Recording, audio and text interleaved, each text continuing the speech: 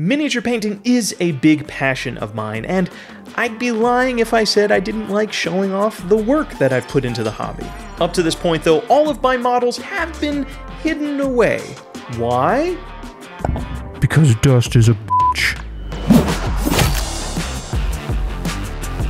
Welcome, traveler. My name is Blake Raya, and this is Love, Death, and Dice. Before we dive into the episode, check out the new freaking studio. I would actually love to do a video about a studio tour and how I built it and why I built it the way I did. So if you guys are interested in that, let me know in the comments below. This week, I'm turning a cheap IKEA cabinet into a sleek, spacious, and most importantly, dust-proof display cabinet. How else am I going to trick my friends into playing Warhammer if they can't see my minis and get hobby envy? I'm using a Rudsta. It's got plenty of shelving and feels industrial like the rest of my studio. It's also mainly metal, meaning I can move houses without much worry of hurting myself or it breaking.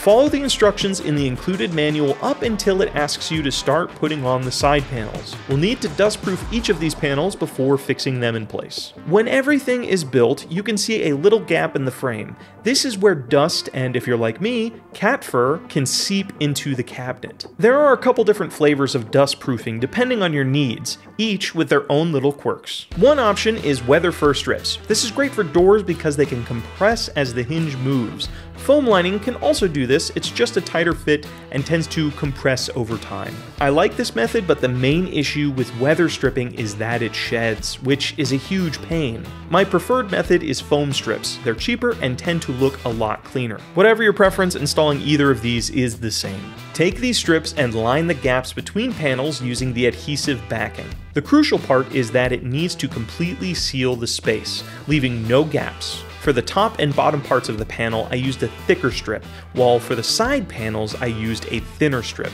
Both of the measurements and materials are linked below. There are these little pegs and pieces of extruded metal built into the panels. Simply cut the strips to make room for them. Get that cut as close as possible though to leave as little a gap as possible. Once your strips are in, you can finish assembling the cabinet. If you're super paranoid about dust or if the foam doesn't seal perfectly in certain areas because you stretched it, you can also line the cabinet with something like black gaffer tape. This is mainly meant for film production and is kind of pricey, but it doesn't leave behind any sticky residue and has a matte finish, keeping the look of your display clean. Place on the shelves and line up those beautiful models and boom, you've got a dust-proof display. Now that your minis have a dust-proof home where everybody can see, hopefully your friends will be convinced to join our little plastic cult. I mean, hobby. See you next time.